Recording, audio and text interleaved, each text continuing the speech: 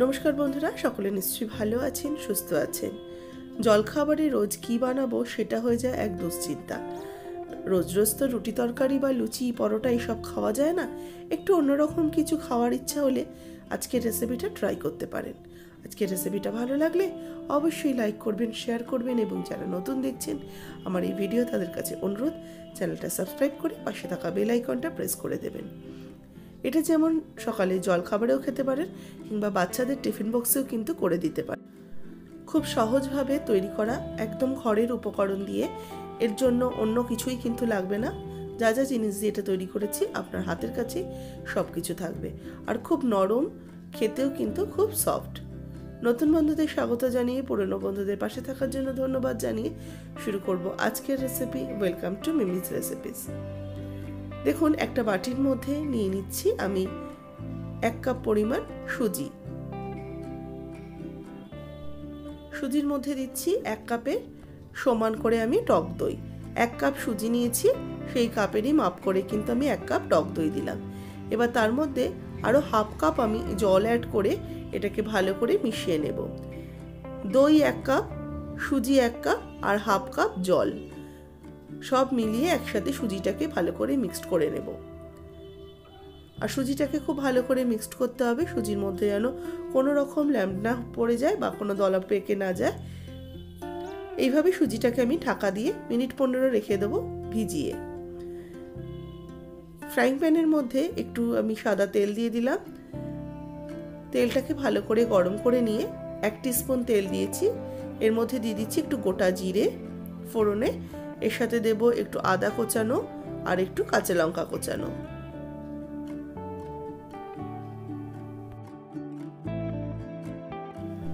আদা কাঁচা লঙ্কাটাকে একটু হালকা করে ভেজে নিয়ে এর মধ্যে দিয়ে দেবো কুচিয়ে নেওয়া পেঁয়াজ।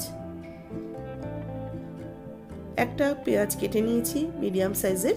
পেঁয়াজ কোচানোটা দিয়ে এবার পেঁয়াজ কোচানোটাকেও একটু হালকা করে ভাজা ভাজা করে নিচ্ছি। খুব যে লাল করে ভাজতে হবে তা কিন্তু নয় একটু হালকা করে পেঁয়াজটাকে ভেজে নেব। পেঁয়াজটা দেখুন বেশ একটু হালকা পিঙ্ক কালার হয়ে গেছে। কালারটা চেঞ্জ হয়ে এসছে এবার এর মধ্যে দিয়ে দিচ্ছি মটরশুঁটি। এক বাটি পরিমাণ মটরশুঁটি আমি এখানে অ্যাড করছি। মটরশুঁটি, পেঁয়াজ, আদা, কাঁচা লঙ্কা একটু হালকা করে আবার নাড়াচাড়া করে ভেজে নিচ্ছি। মটরশুঁটি কিন্তু এখন একটু শক্ত হয়ে গেছে, আপনারা একটু দেখে নেবেন যেটা একটু নরম হয়, সেই কচি মটরশুঁটিগুলোই নেওয়ার চেষ্টা করবেন। এবার এর মধ্যে স্বাদ মতো লবণ আর হাফ চা চামচ হলুদ গুঁড়ো অ্যাড করেছি। এটা আমার ক্যামেরাটা অফ হয়ে গেছিল এই সময়। এবার আমি দেব ওয়ান ফোর টিস্পুনের মতো লঙ্কার গুঁড়ো আর সামান্য একটু ওই এক দু পিঞ্চের মতো একটু জিরের গুঁড়ো। এবার ভালো করে মশলাটাকে মিশিয়ে নিচ্ছি। দেখুন, মশলাটা একটু ভাজা ভাজা হয়ে গেছে। এবার এর মধ্যে দিয়ে দেবো জল।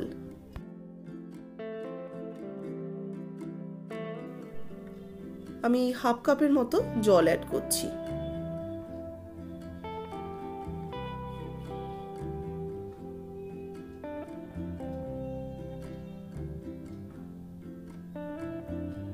দেখুন, ঝোলটা বেশ ফুটে উঠেছে। আর এটাকে আমি একদম জলটা শুকিয়ে যাওয়া পর্যন্ত ফুটিয়ে নেব। জল কিন্তু প্রচুর শুকিয়ে গেছে আর মটরটাও এর সাথে কিন্তু বেশ ভালো করে সেদ্ধ হয়ে গেছে। এবার গ্যাসের ফ্লেমটাকে অফ করে দিয়ে আমি এটাকে ঠান্ডা করে নামিয়ে নেব। নামিয়ে একটা মিক্সিং জারের মধ্যে নিয়ে নিয়েছি। এবার এটাকে আমি জল ছাড়া বেটে নেব।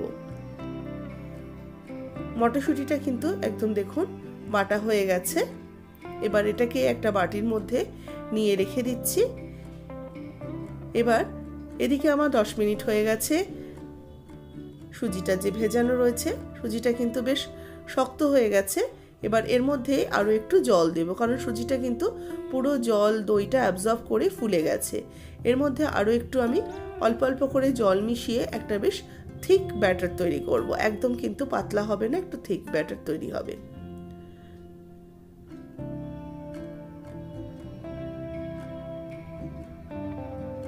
দেখুন বেশ ঠিক এরকম কনসিস্টেন্সিটা আসবে। এইভাবে আমি তৈরি করে নিয়েছি। এবার এর মধ্যে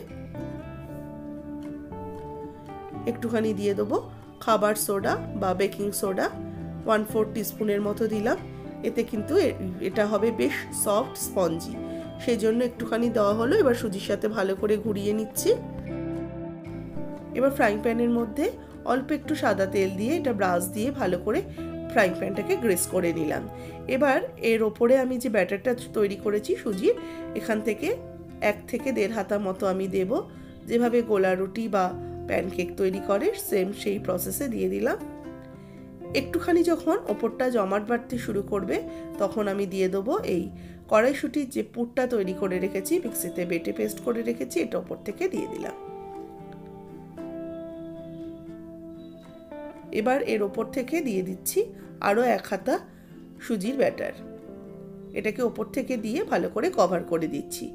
ভেতরে কিন্তু স্টাফিংটা থাকল কড়াইশুটির আর ওপরে সুজির ব্যাটারটা দিয়ে দিলাম। ভালো করে দিতে হবে যাতে পুরোটা কভার হয়ে যায়। আর সাইডগুলো যেহেতু ছড়িয়ে গেছে, একটু খুন্তি দিয়ে সমানভাবে সেট করে নিয়ে এটাকে একটু হতে দেব। ওপরটা যখন দেখবেন বেশ শক্ত হয়ে গেছে, এটা মিনিট পাঁচ ছয় সময় লাগবে একদম লো ফ্লেমে ওপরটা যখন একদম শক্ত হয়ে যাবে, তখন খুন্তি দিয়ে এটাকে আস্তে করে উল্টে দেবেন। আস্তে আস্তে এই নিচের পিঠটাও যখন শক্ত হয়ে যাবে বা বেশ একটা ভাজার মতো ব্রাউন কালার হয়ে আসবে, তখন বুঝবে এটা কিন্তু সুন্দরভাবে হয়ে গেছে। এখন এটা কিন্তু আমার হয়ে গেছে, এবার এটাকে নামিয়ে সার্ভ করে নিচ্ছি। কি চটজলদি একটা কিন্তু জলখাবার তৈরি হয়ে গেল। এবার এটাকে একটু কেটে পিস পিস করে আপনাদের দেখাচ্ছি কেমন হয়েছে।